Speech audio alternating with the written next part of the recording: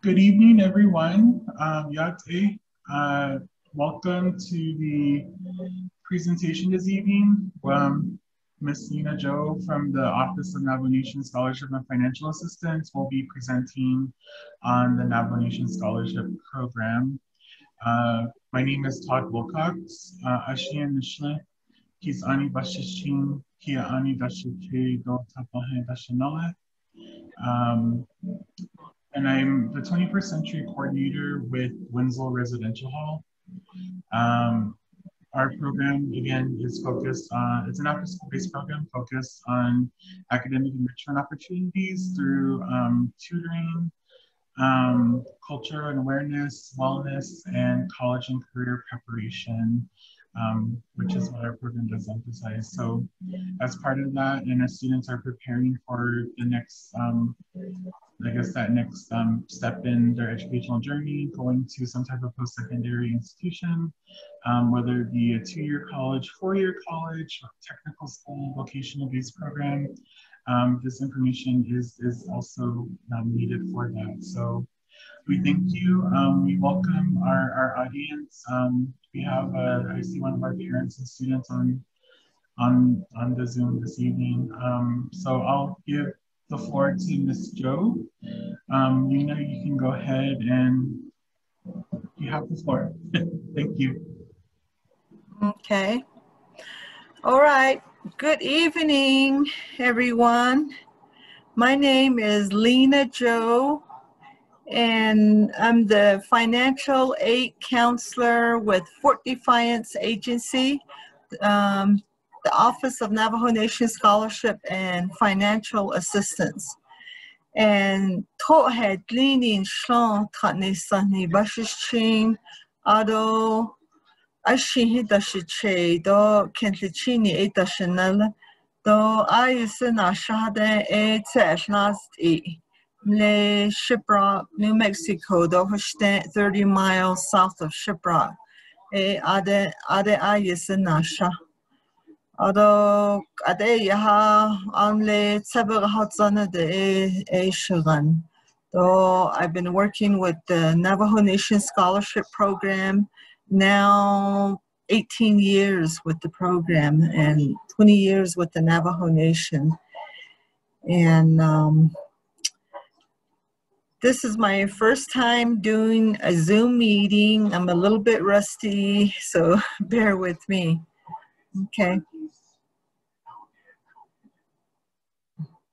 Okay, about the ONNSFA program, um, here's the background information. The Office of Navajo Nation Scholarship and Financial Assistance provides enrolled members of the Navajo Nation an opportunity to achieve their educational goals Formerly known as the Navajo Higher Education Office, the ONNSFA was established in 1972 when the Navajo Nation entered into a Public Law 93-638 contract with the Bureau of Indian Affairs to administer the higher education grant. The ONNSFA office housed within is housed within the Department of Diné Education. And we are located in Window Rock, Arizona in the um, education building. The ONNSFA awards financial aid and scholarship from several sources, including federal funds from the Higher Education Grant, Navajo Nation funds, trust funds, and corporate funds. In 2018, the ONNSFA awarded more than 24 million in financial aid and scholarships to approximately 6,000 students seeking a college degree or certificate. And um, we don't have our report from the 2019 yet, so this is all going to be information from 2018. And we have five agency offices. And the five agency offices are available to serve students offices are in Tuba City, Arizona, Chinle, Arizona, Shiprock, New Mexico, Crown Point, New Mexico, and Window Rock, Arizona. And the toll-free numbers to all these agency offices are on the ONNSFA student portal at www.onnsfa.org. Um, and it's available to help students navigate the ONNSFA application process. Each office is staffed with a senior financial aid counselor, a financial aid counselor, and off office specialist. Each agency staff provide presentation at high schools, chapters, and other career fairs held across the Navajo Nation on ONNSFA policies and procedures and other funding sources. Okay, about um, Article 5, Pledge of Service to the Navajo Nation. The purpose of the Pledge of Service is for college graduates to apply their acquired skills, training, and knowledge to assist the Navajo Nation by returning to the Navajo Nation and seek employment in their appropriate profession. Students aren't required to come back to the Navajo Nation upon their graduation. However, we would encourage that they come back and help with the development of the Navajo Nation.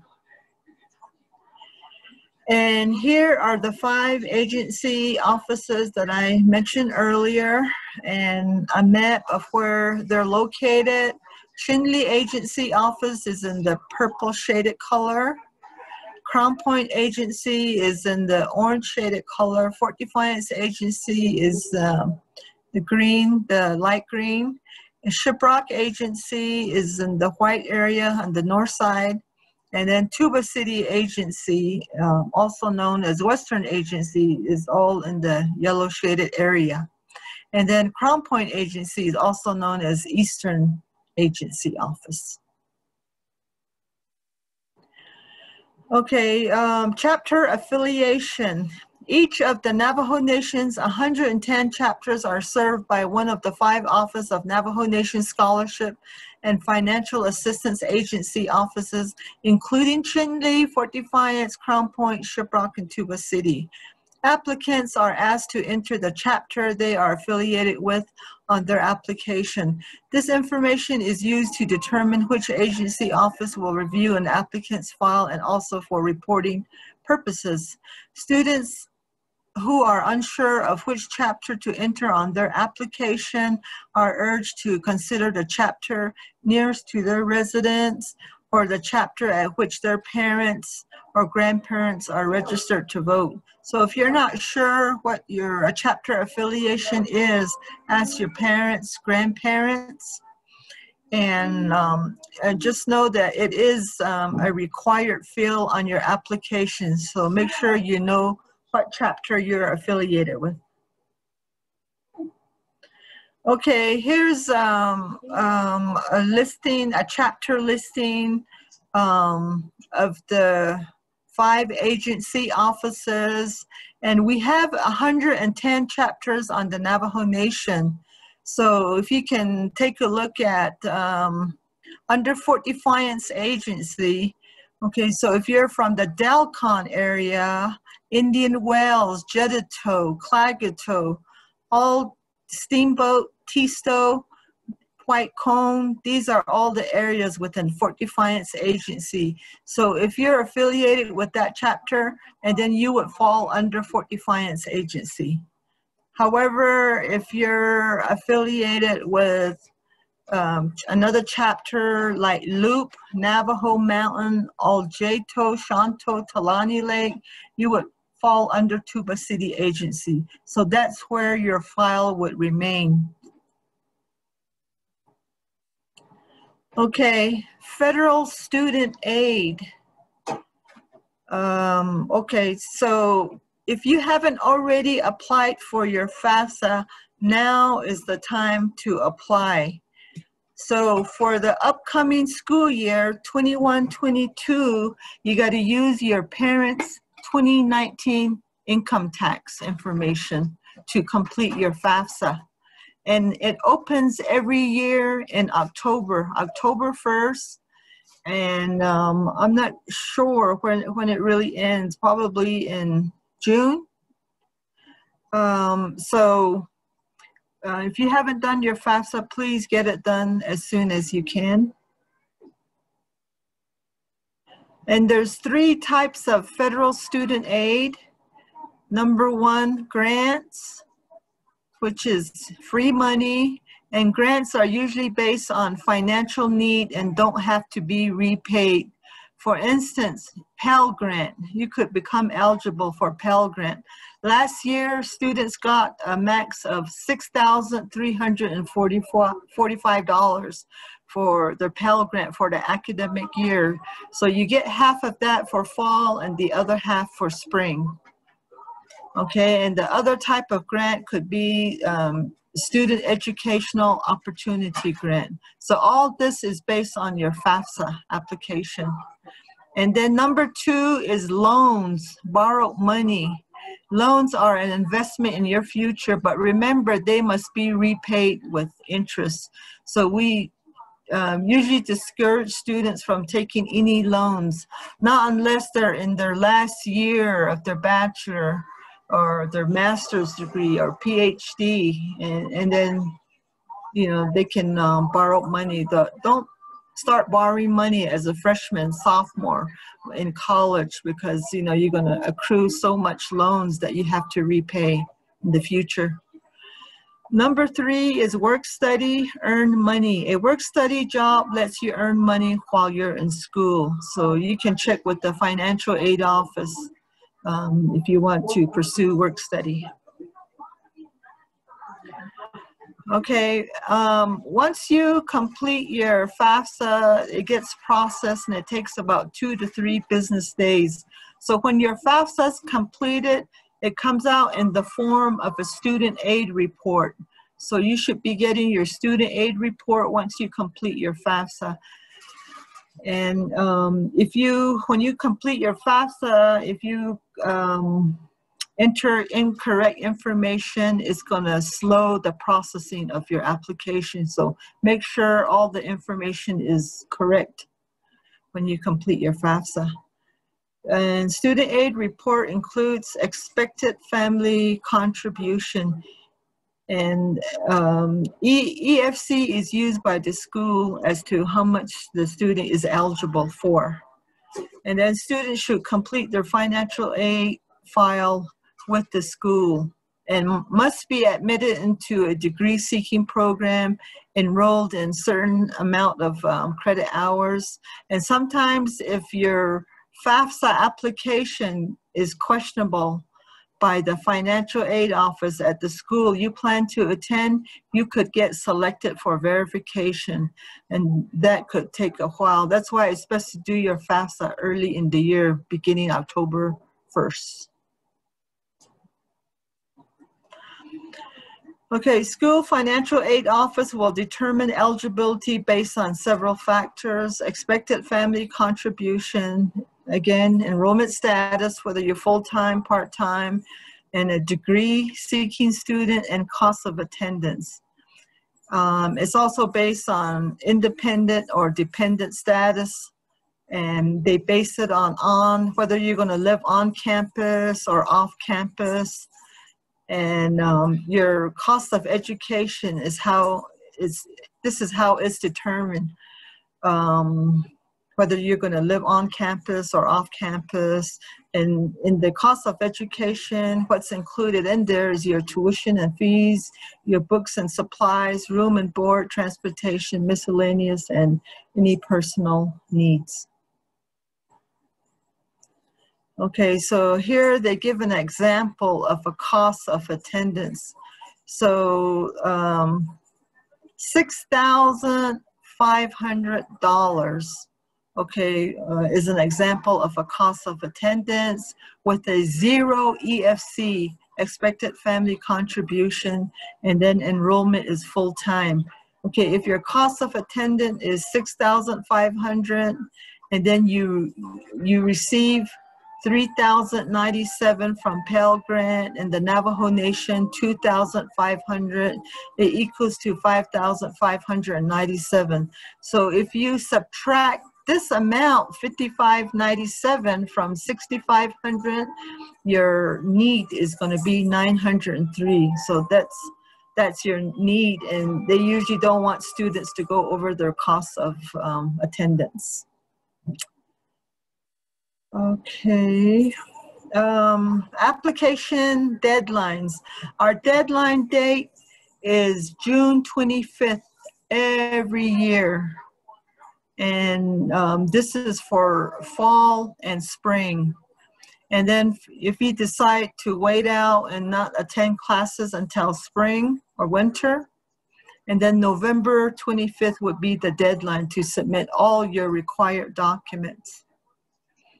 Okay, so when you apply for fall, that application is going to take care of spring as well. And again, here's our website, www.onnsfa.org. And this is what our home page looks like. Okay, when you go to this website, and this is what it's going to look like. And um, what you're going to do is apply online, where the where you see the red circle that's what you click on to apply online with, uh, with our office. Okay, um, application submitted by the fall, winter, spring deadline cover the entire academic year. Um, so what you're going to do is select either the full-time or the part-time application. And um, and you're to complete all the yellow fields. Okay, all the yellow fields is what's required on the application. Okay, and it continues here. Um, applications are submitted before midnight the next day, and um, application online application opens on March 15th every year. So right now our online application is open. You're um, welcome to apply now. And it takes about three, two to three business days for your application to appear on our database because our office specialists, they have to go through a batching process first once you apply, you won't it won't appear on our database right away. It takes about two to three days. Okay, so once you complete the yellow fields, you can go down to the bottom of the application. Make sure you clicked on the uh, that you're giving consent for our office ONNSFA to let's see also releasing your personal information for employment internship and scholarship opportunities and that you accept the contract. And this is um, the contract here. And if you want to review it more here you click on um, here this area to review the contract. And it's just basically saying that you gotta to apply full-time you gotta complete 12 new credit hours per semester 12 hours for fall and 12 hours for spring for to get continued funding with the Navajo Nation Scholarship. And um, the application is good for the entire academic year. And again, it says here it takes two to three business days for your um, information to show on our database. Okay, here's um, the full-time applicant checklist. Okay, so these are all the documents that's required by June 25th of each year. Okay, so for this year, if you haven't um, applied, you can go again to our website and submit an online application We'll need your certificate of Indian blood. And we require an official certificate of Indian blood. And for new applicants, we can accept an unofficial CIB just for one semester. So if you don't have an official CIB, um, you can submit a photocopy of that and we can use that for one semester to award the student but by spring, by January 2022, we would need an official CIB. And there's a, there's a form on our website, called um, CIB request form. You can download that, fill it out, and submit it to our office, and we can turn it into vital records for you. And in return, they'll send us your official CIB. And then transcripts, we're gonna need your official high school transcript. Don't send it now, but um, go ahead and send it until after you graduate from high school. So let's say if your high school graduation date is May, May 15, and then you got to wait until after that to um, request for your official high school transcripts from the registrar at your high school or from your um, academic um, counselor and um, get that to our office and you can mail it. Don't upload the um, transcript as well as the CIB. They can't be uploaded. Okay, if you um, if you take uh, if you took dual enrollment, you're taking college courses, we'll need your official college transcript as well by June 25th. And then letter of admission, we would need from the school of your choice. Let's say, for instance, if you if you plan to attend Northern Arizona University this fall, we would need a letter of admission from NAU's admissions office, not from the athletic director, not from the counselor. It's got to come from the admissions office, and usually it'll say, Congratulations, you've been admitted to NAU for the fall 2021 term, signed by an admissions office. And this document can be uploaded to your student portal. Okay, and then the next item is financial need analysis. The FNA form you can also find on our website. What you would need to do is complete the top portion of the FNA form. And um, I gave um, Mr. Wilcox um, some packets. So um, you can pick up a packet from him. In the FNA form, you'll find as well as the CIB requests in the packet. Uh, financial need analysis is required. You would need to complete your FAFSA first. Once you complete your FAFSA, you take this FNA form or send it to the college or university you'll be attending this fall. And they're the only ones that have access to your FAFSA. As for the Navajo Nation Scholarship, we do not have access to your FAFSA. So we wouldn't know um, how to complete this FNA form. And so therefore, please give it to the financial aid office at your school. So if you're if you plan to go to NAU or ASU or NPC, you take it to the financial aid office at that school for their completion, and they need to be listed on your FAFSA application. And this FNA determines how much the Navajo Nation is going to fund you, and we can fund up to $2,500 per semester. Okay, graduation degree checklists. It's required for all juniors, seniors, part-time applicants, um, and also graduate students. So if you're an incoming freshman, and then you're not required to submit your graduation checklist until you become a junior. It's, a checklist is just a list of all the classes you're going to need to take for the degree program you plan to pursue. For instance, if you want to go into a bachelor's of science and nursing, and then it's going to list all your nursing courses and all the prerequisites to get your bachelor's of science degree in nursing signed by your advisor with an anticipated date of graduation posted on there. So but that's again that's not required until you become a junior senior in college and then course registration, I'm sorry, course registration. Um, there's no deadline for this, but we encourage students to submit it once they enroll and register for classes, because that helps us in determine determining the award for for each student.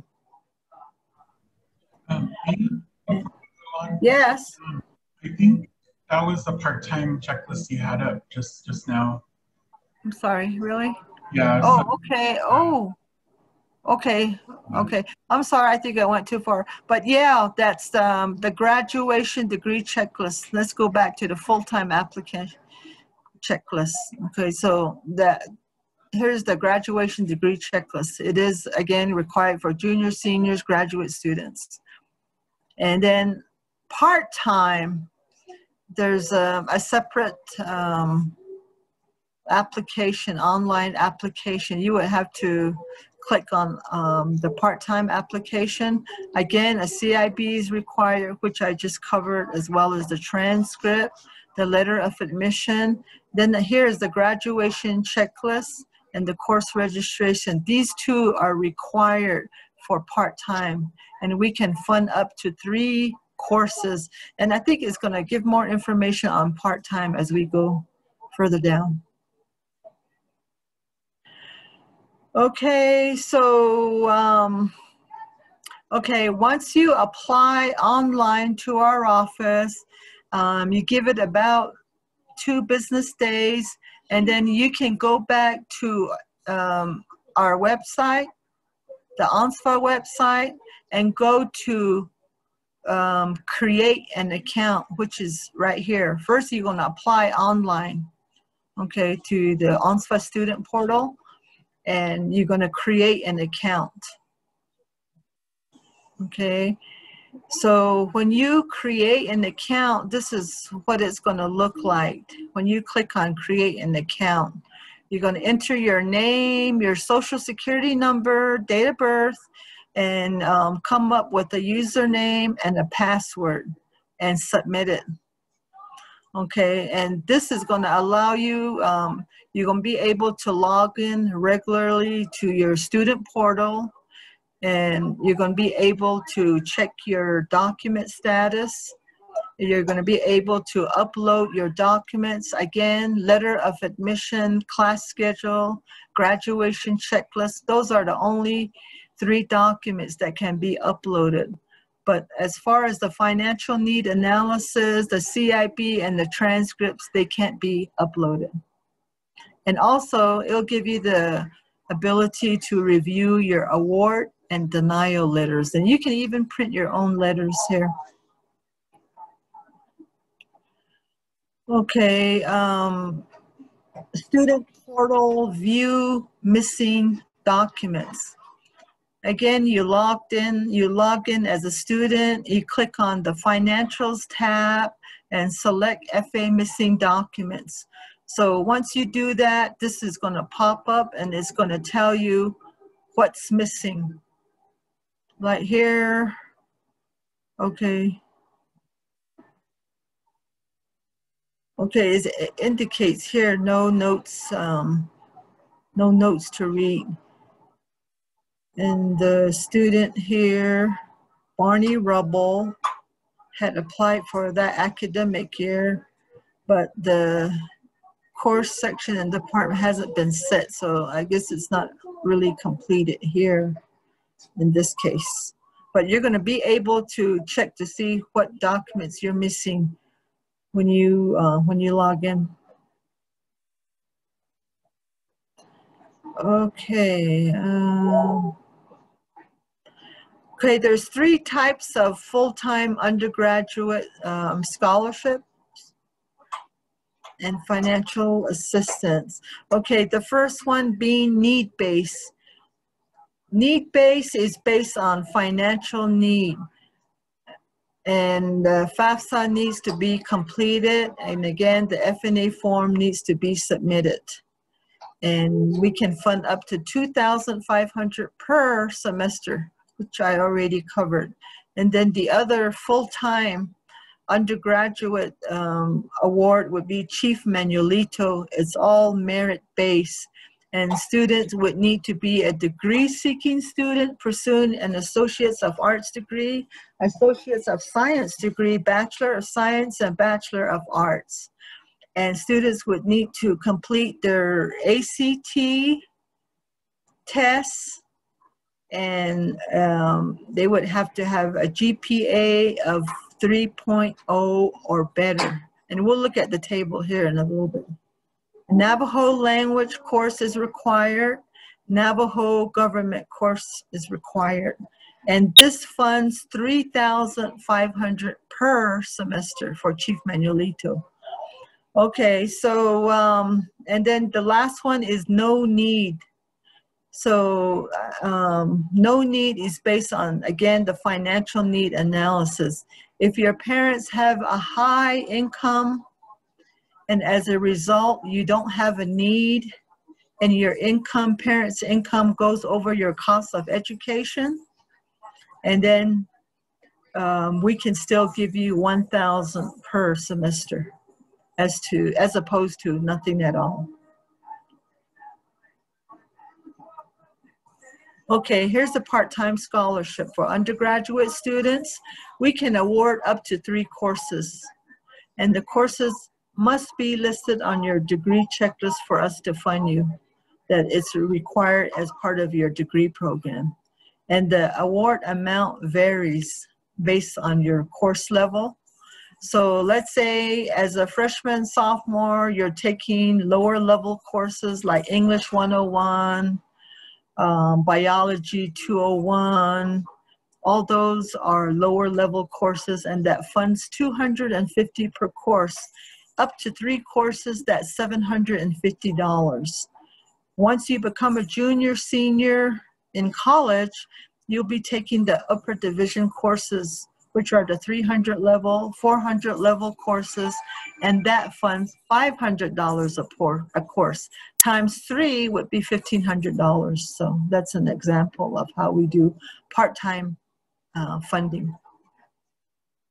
And then we also, once you complete your associate degree, bachelor degree, and you want to pursue more um, in your education, you want to go into graduate school, we do offer graduate funding as well.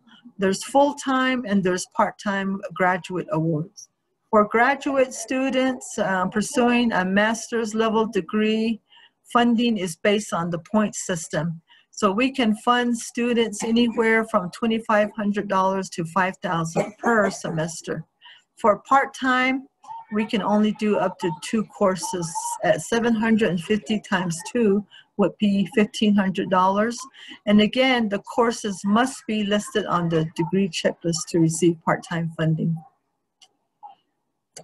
Okay, maintaining eligibility for full-time undergraduates.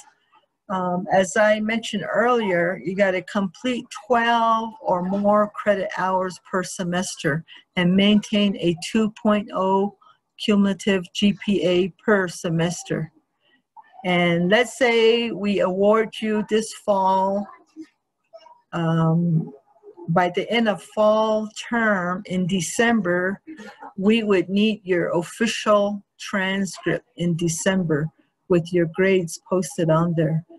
Um, so make sure the, the grades are posted when you request for your transcript to be sent to our office.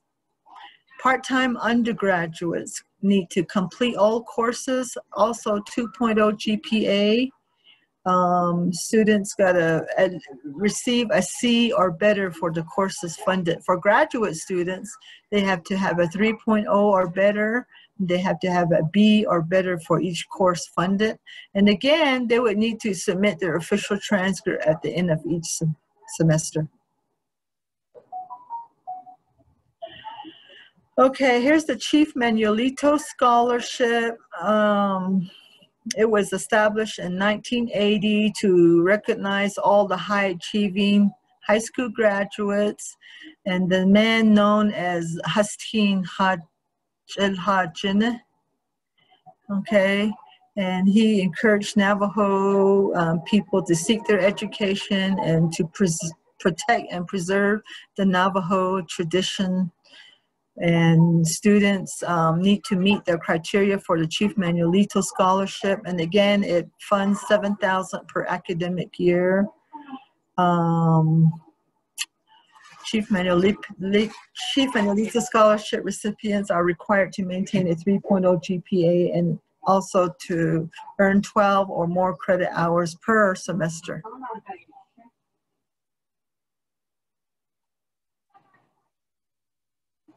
And chief, here's the Chief Manuelito requirements. Um, students got to be admitted into a post-secondary education and seeking a Bachelor of Science degree, Bachelor of Arts, Associates of Science, Associates of Arts. Okay, and you see the yellow um, shaded area that um, indicates certificate, associates of applied science, and bachelor of applied science degrees are not eligible for Chief Manuelito. So, and those are vocational courses like automotive or um, any course um, um, that um, um, that's under the certificate or associates of applied science or bachelor of applied science don't apply. Um, okay, so the minimum GPA and corresponds to the ACT score. Okay, see graph. Um, completion of required courses, Navajo language, you got one, you need to complete one unit, high school, or one plus college credit. So if you're gonna take the Navajo language in high school, they offer it um, two semesters, Navajo one and Navajo two. But if you're gonna take it at a college level, it's all, you can only take it just one semester. And with the Navajo government, um, it, you can take that one semester at the high school level as well as at the college um, level.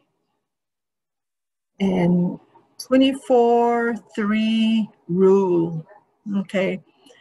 If you don't qualify as a high school student, high school graduate for the Chief Manuelito, if maybe your GPA is low or your ACT score is low, and if you took um, college level credit hours while in high school, we would need your um, college transcript because a lot of students tend to qualify for Chief Manuelito under the 24-3 rule, which is completing 24 college level credit hours and with a cumulative GPA of 3.0 or better.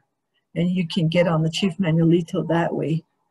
And also, Chief Manuelito uh, or 24-3 rule can apply so if you didn't, you wanted to get on the Chief Manuelito and you didn't take college courses while in high school or you didn't qualify as a high school graduate, you can always um, earn the Chief Manuelito um, this upcoming year during the fall 21 and spring 22 semesters. So by next fall, fall 2022, you could qualify for Chief Manuelito under the 24-3 rule.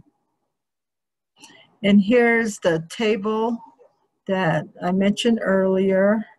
So um, let's say by the time you graduate from high school and your GPA is at um, a 3.9, 3.8 or better, your ACT score can be um, as low as 21.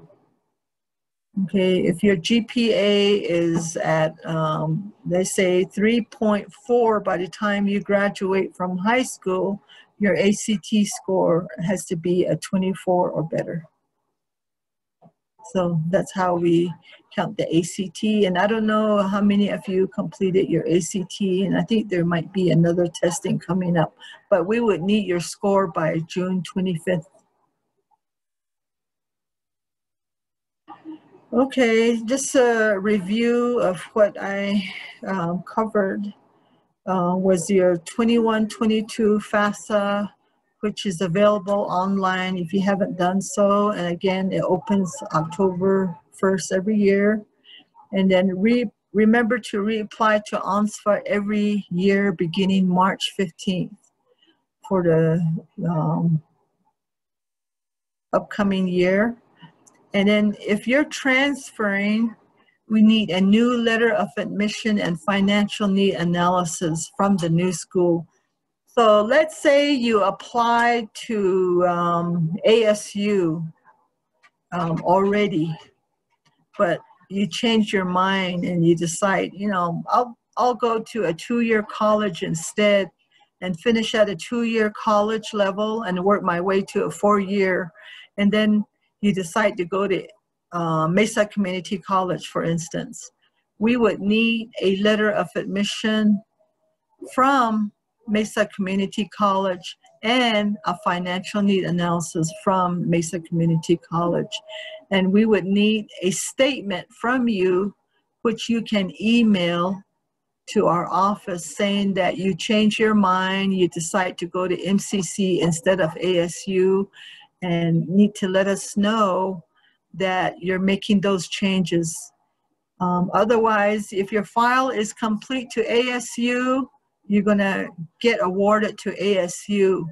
And then after the fact, you know, um, once we find out that you're going to be attending another school instead of ASU, and then we would have to request for those funds back from ASU um, because and those funds need to be put back into the account where it came from before we can reissue um, a check to you to to the new school. So keep that in mind. Just make sure you know what school you want to uh, attend. And also keep us informed because we get thousands of applicants every year and then also to keep in mind you got to maintain good academic progress okay? If for some reason you fall below during the fall semester um, let's say you fall below, you only completed nine hours instead of 12 hours, or your GPA went below,